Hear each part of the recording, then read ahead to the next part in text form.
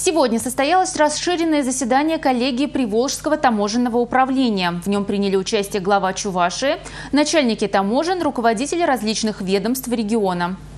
Вопросы правильности классификации товаров при Волжском таможенном управлении в 2014 году были одними из приоритетных. Только за последние три года судами вынесено более 100 решений, и почти 80 из них в пользу таможенных органов. Затронули также вопросы, касающиеся экспорта и импорта товаров. Их доля в этом году сократилась. Например, экспорт снизился из-за прекращения вывоза за границу дорогостоящей спецтехники.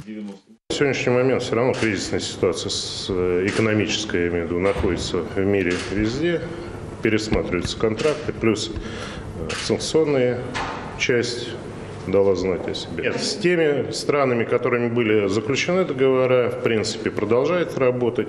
Не единственное, по отраслям это может коснуться, но в сегодняшний момент, то есть в не оформляется та номенклатура товара, который попал под санкционную часть.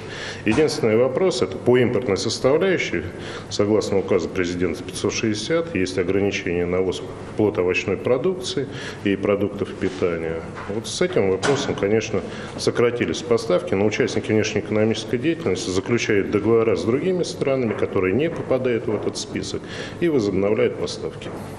Это касается стран Евросоюза, Канады, Австралии, а также Турции и Китая, которые относительно недавно заключили договоры на поставку. Кстати, объем внешней торговли на Чувашском таможенном посту в этом году составил более 200 миллионов долларов. И по сравнению с прошлым годом он уменьшился на 27%. Могу вначале же сказать, по всем показателям, которые есть у нас на сегодня, расчетно, прогнозно просчитали, с учетом финансовых определенных таких моментов. В целом мы по макроэкономическим показателям год завершаем лучше, чем даже э, истекший 2013 год.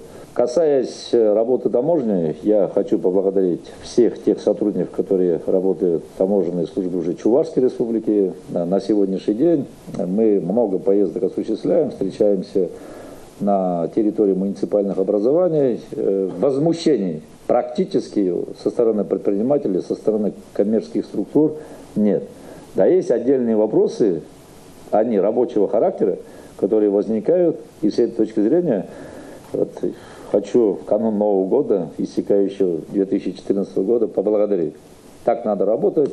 В свою очередь, начальник Приволжского таможенного управления отметил работу Чувашского поста, а также его хорошее взаимодействие с контролирующими органами. Юлия Важенина, Сергей Рябчиков, Республика.